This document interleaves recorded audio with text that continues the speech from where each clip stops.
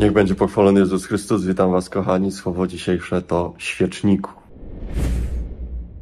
Przypomniał mi się wołacz o świeczniku, ale w czasie tej modlitwy zadałem sobie jedno pytanie: czy jestem świecznikiem, który świeci, czy jestem świecznikiem, który parzy innych? Warto, myślę, w kontekście tego słowa dzisiaj sobie takie pytanie zadać.